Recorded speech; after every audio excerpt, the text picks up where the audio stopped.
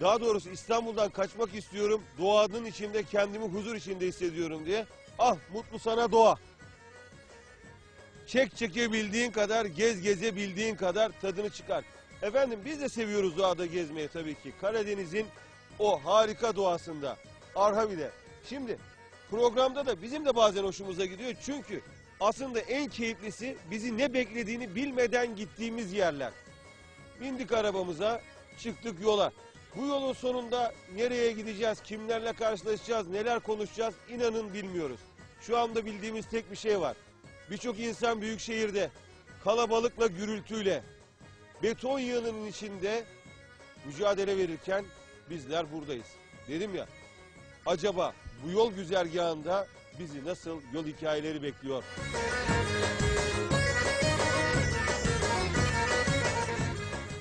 Efendim şimdi Ortacalar diye bir köye geldik.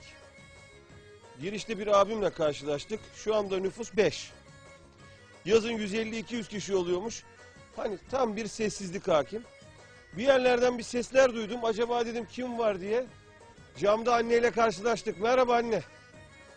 Şöyle bir dakika gelebilir misiniz? Rica etsem. Bir yandan da fokurtunun sesleri geliyor. Burada kazan kaynıyor.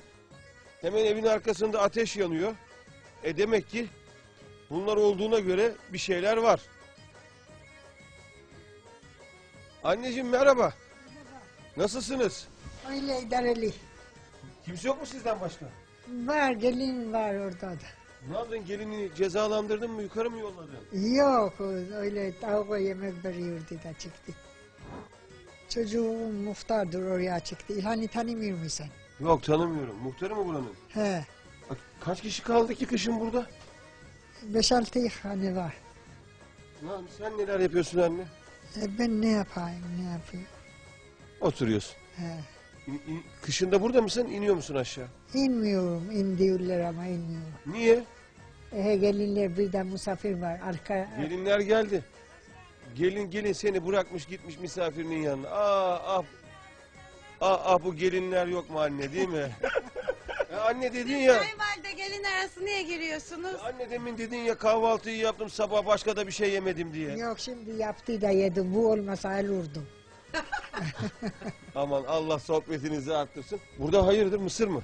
Burada şimdi lahana pişiriyorum. Beklerseniz de güzel hamsi ızgara yapacağız. Hep beraber yeriz.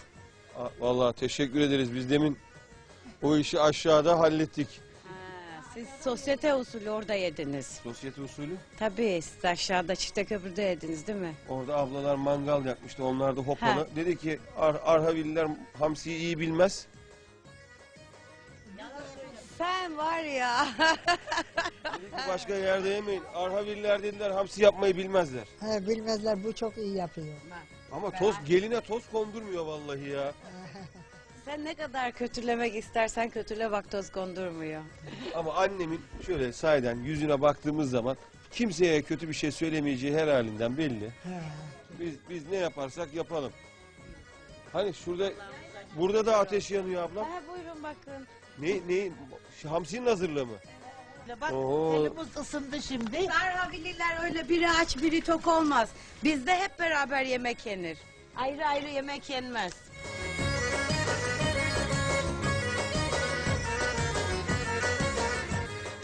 Biraz sonra evden çıkacağız muhtarımızın evinden. Caminin kapısına gideceğiz. Orada gerçekten özel bir kapı var. Ondan bahsedeceğiz. Bu arada muhtarım hoş geldin. Hoş bulduk. Siz de hoş geldiniz. Teşekkür ederim. Nasılsınız? Teşekkür ederim. İyi. Siz nasılsınız? Bizdeyiz. Misafirler var galiba. Evet. Misafirler e, Arhavi'den, e, Çorum'dan. Çorum'dan. Çorum'dan. Böyle oturdunuz. Yemek Evet. saatini bekliyorsunuz. Evet, böyle bir dolaştık tepeleri, dağları.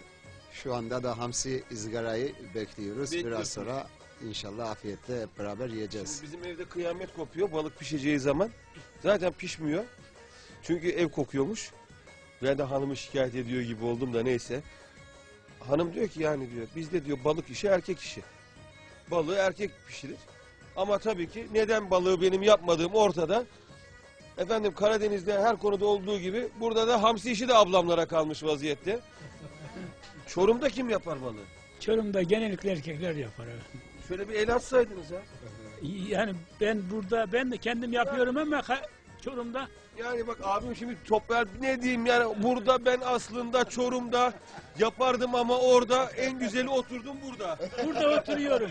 Burada oturuyorum. Burada iş yaptırmıyorlar. Ben girişimde bulundum ama ablam bize şey yaptırmadı. Ya belli abi yani çok girişimci bir ruhunuz var yani. Abim burayı çok beğenmiş. Bundan sonra ortacılarda buna bir ev vereceğim, yer vereceğim ve artık bundan sonra burada yaşayacak. Beraber yaşayacağız. Çorum'u terk ediyor. inşallah. Ya vallahi abi harika bir yer. Abi, abi sen de balık yap, yapmaz mısın? Yapmam. Anca yeme yemeği biliyorum. Sahiden yapmaz mısın abi? Yapmam. Hamsiyi alayım uğraşayım. Yok yapmam. Hadi abi Erol Taş gibi belli ki yapmaz. yaparım. Nasıl yapma? Hepsini yaparım. Benim yapamayacağım hiçbir şey yok. Lan zoruna gitti hemen. Ben bir tek ben yaparım oradan çıktı. Söylesin. Benim yapamayacağım hiçbir şey Her şey yapar. Her şey yapar. Doğrudur Kaç kişisiniz arkadaş. muhtarım kışın köyde? Kışın 15-20 kişi varız. Yazın. Yazın 3-400 kişiye çıkıyor. Özlüyor musun yazın? Valla e, kışın ayrı bir güzelliği var, yazın da ayrı bir güzelliği var. Hepsini özlüyoruz işte. Değil mi? Şimdi orada efendim. Bak vay delikanlı kardeşim benim ya bak. Bak bak laf laf 24 saat balıkçı denizde, teknede. Balık gel limanda bak bir tane seni denize götürelim de bak bir denizde motorla bir gez. Denizde Vallahi çekim yapalım yapabilir bir daha misin ama ya? bir daha geldiğimizde. Kı- Hangi aya kadar bu av yasağı? 24 saat biz her gün Şimdi Eylül'ün 15'ine kadar Şöyle pa- ba- bana lüfer lüfer oluyor mu lüfer? Lüfer falan burada olmuyor şu an. Burada Tamam. olan bel- balıklar belli ya. Hamsi, mezgit, barbun, Palamut. palamut. Onlar olur yani. Bu sene zaten palamut burada çok azdı. Miktarı. Fazla yani ne tutabildik ne yiyebildik. Bu sene ama hamsimiz bol yani. 1 liraya gidiyor yani. Bir lira. Herkes aynı yiyen yiyene gidiyor yani. Dur misafir duyacak öyle de söyleme şimdi 1 lirayla hamsiyi. Demek maşallah hamsi de 10 liraya kadar çıkmış kilosu. Ya muhtarım muhtarım acımaz paraya. Hamsi 10 liraya çıkmış. Nereden baksan 10 kilo var. Arada böyle diyeceksin misafir. Ondan sonra Çorum'dan gelen misafir der ki 1 liralık hamsiyi verdiler bana.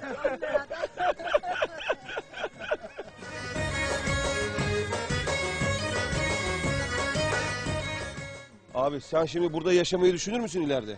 Düşünür, düşünebilirim. Abi o zaman bu hamsiyi öğreneceksin abi.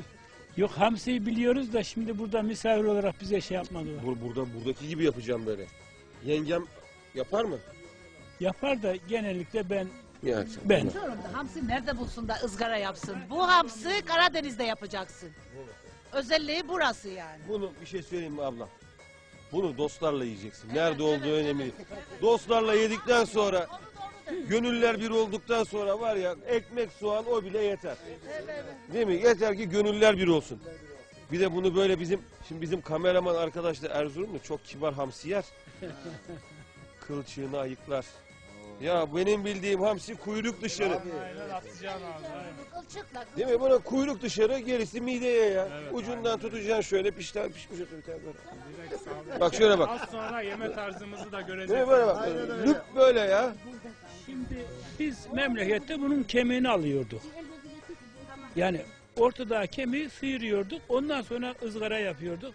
Ama dün akşam ben burada kemiği daha hoş olarak yemeye başladım. Abi hamsi, hamsi ziyan ediyorsun abi oralarda. İşte yani, yani bilemiyorduk yani. Abi bunun merakları vardı. Tabii Denize şimdi. geldi öğrendi şimdi. Bundan, bundan Siz sonra abi bu arada şimdi Çorum nere, orada nere, dostluk nereden? dostluk nere, e, bunun e, oğlu benim kiracım Arhavi'de. He, O yüzden e, Yoksa acaba asker arkadaşı mısınız diye Yok düşün- değil. Ama senin zamanında Yeniçeriler vardı zaten askerlikte. Evet evet. Muhtarım genç. Oh. Oy oy oy oy. Bir de diyor ki 5 dakika, 3 dakikada oldu. Şimdi biraz daha olması lazım. ama hamsi de soğansız güzel olmazdı abi. Ol- olur mu ablam? Ha- soğan, turp. evet, Çok evet. havuç. Of of of. Abim abim de acıkmış. Abim de acıkmış. Ben anca yemeği biliyorum. ya niye yakalamayı biliyorsun da. ya, yakalamayı da biliyorum. Balığın başında her şeyi biz yapıyoruz gibi başlıyorlar. Ortasına doğru bırakıp kaçıyorlar. Herkesin bir biz de abilerimizin boş yere günahını almışız burada ya. Ee, Onlar ortada sıvışırlar. Vallahi Tam ortada- hemen ondan sonra bir anda hepsi kaçtı. Aa, ihale kaldı yine bize.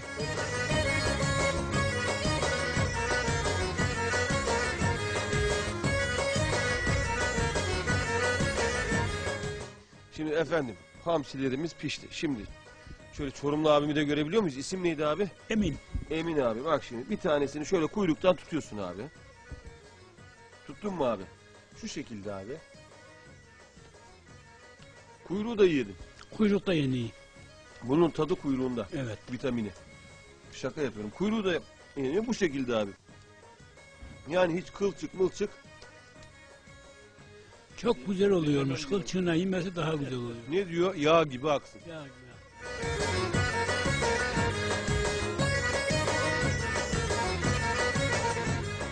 Efendim böyle yolda dedik ya. Bu hafta dedik Arhavi'de yola çıkacağız arabamızla. Doğanın içinde sohbet ede ede gideceğiz. Muhtarın evine misafir olduk. Şansımızda hamsi vardı. Hamsimizi de yedik. Misafirlerle tanıştık. En güzel annemle tanıştık. Anne biz gidiyoruz. E niçin diyor yemek yiyin daha. Kimse demedi ki yemek ye. Senin ne gelinin dedi ne oğlum dedi ki yemek ye. Yok değiller değiller. Hiç kimse bir şey demedi. Değiller. Biz de utandık. Ben tez yapın dedim. Yukarıdan inecekler tez yapın yemek. Anne ben de utandım bir şey de diyemedim. Yok yok. Geldim de Öyle televizyon, demezler yok yok. televizyonda diyeceğim ki geldim muhtarın evinde aç kaldım. Yok yok. Bir anne bak. Annem ellerinize sağlık. Allah razı olsun. Şu sizin yemezden sizin caminin kapısı çok meşhurmuş. He. Ben gideyim bir onu çekeyim Hem, tamam. hem muhtar da uzun getiriyor. Muhtar muhtarımla gidelim.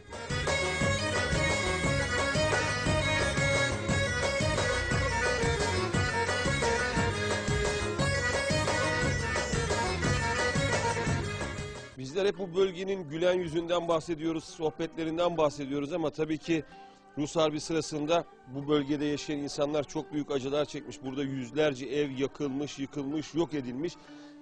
İşte bu caminin de yakılmaya çalışıldığı söyleniyor. Şimdi içeriye girelim. O bahsettiğimiz kapı ile ilgili de kısa bir bilgi verelim. Sonra hemen güzel havada dışarıda dolu dolu Anadolu'ya devam edelim.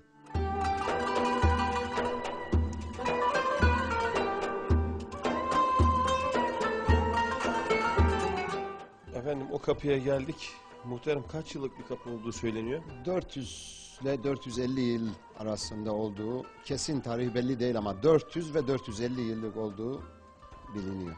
Nedir kapının özelliği? Kapının özelliği e, bazı e, işte Hristiyanlık, e, Musevilik gibi işaretlerin olduğunu siz de görüyorsunuz burada. Ee, mesela burada haç iş Haç şekli işareti var. Burada yine Museviliğin sembolü var. var. Yine farklı semboller var. Tamam. El yapımı El ahşap yapımı, bir kapı. ahşap, evet. Yani şöyle mi diyoruz? Bu kapı tüm dinlere saygı Saygı kapısı gibi. saygı kapısı. Evet saygı kapısı. Tüm dinlere saygı kapısı. Bunu da görmüş olduk. Teşekkür ediyoruz. Biz teşekkür Fazla ederiz. bekletmeyeyim. Hamsiye bekliyorlar. Hamsi soğumasın. Görüşürüz muhtarım. Oldu. Tekrar başka bir günde hep beraber başka bir zaman yine bekleriz buyurun. İnşallah görüşmek üzere. Görüşmek üzere.